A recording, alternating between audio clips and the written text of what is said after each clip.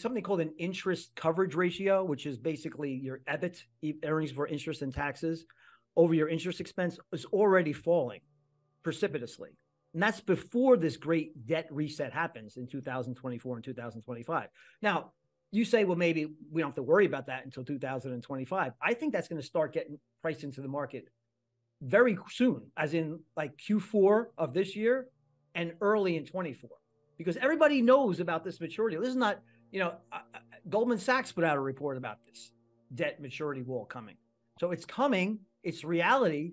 And when you have 10% of companies out there as zombies, in other words, they can't even pay, uh, they have to borrow money to pay interest on debt. That's what that's the definition of a zombie. They don't have the cash flow from operations to pay interest on debt. What do you think is going to happen to those companies? And they and there's about 11 million people employed in the United States of, of, of America. 11 million people employed in these junk rated, high yield corporate debt businesses. Wow, they're, I I did not for know a real stat. shock. Yeah, I did not know that stat. So we've obviously yeah. talked about the risk of zombie companies on this program before. Um, and I guess I just sort of thought I should have thought to try to dig up that data point. But yeah. Yeah, we start having you know contagion amongst the zombie fleet as they are forced to to um, you know go out and refinance as their existing loans come up for maturity.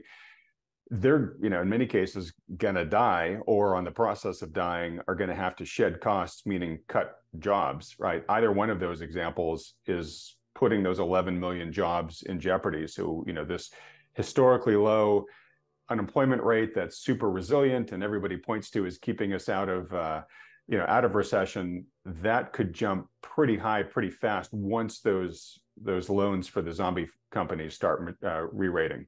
Not only zombies it's like i said high yield and junk they're, they're different but the high yield companies junk rated companies they're not really de- by definition have to be zombie companies. No you're right you're right. So so think about that. So let's continue on if you don't if you don't mind. Yeah, and actually, sorry, before we do, but I just I just want to toss this out there because when you were talking, it reminded me of this. Um, you remember leading up to the global financial crisis, leading up to the the bursting of the housing bubble. I remember seeing these charts published by um, CS uh, uh, First Boston, you know, Credit Suisse First Boston, and it was projecting out the amount of of ARM mortgages mm-hmm. that were going to have to come up for re-rating. Right. Right and yeah. you just saw this massive tsunami coming in the future and guys like you and I would look at this and and say, "Oh my gosh, there's going to be a massive reckoning in the housing market," but nobody cared. Well, because years. they've been because they've been packaged into these pooled mortgages, which you know, housing prices have never gone down in the United States ever in the history of ever. so yeah. what can go wrong? Because you take a real crappy mortgage and put it in a pool of other okay mortgages and you know hey the lowest tier tranche might go bad but that doesn't mean anything else is going to go bad but we saw the domino effect what happens. You know this is this is a story that's played out over and over again. What gets you in trouble is over leveraged economies. The united states is a very over leveraged economy and there's a much much higher interest rate on that leverage coming very very soon very, very okay, great. So you're underscoring my point, which is sort of like we've seen this movie before. um, we can see these these uh, these maturity this maturity wall coming. Um, I'll put up a chart right here while we're talking, Michael, that um, has come uh, uh, surfaced on this channel a couple times of late, but it shows the amount of corporate debt that is coming up for maturity in the next couple of years. And and uh, I'm doing it from me- uh, memory, but folks who can see the chart on the screen can see the actual numbers. But I think it was like 600 something billion this year. Uh, it goes up into the higher, you know, getting kind of close to a trillion next year. 2025, it's over a trillion. So it is a big wave coming. But it seems like, you know, history repeats and rhymes, right? Like we we we have this over leveraged system, but it seems like we still have this hubris right now that for somehow it's just not going to matter. But obviously, you're yep. saying it will. And just to tie up a, a, little bit of a loose end here too. You know, I knew I said that these banks were going to be in trouble in 2023, and how did I know that? Well, um, everybody was saying uh, that what was the mollifying effect this time around was that hey, corporations locked in very low rates forever.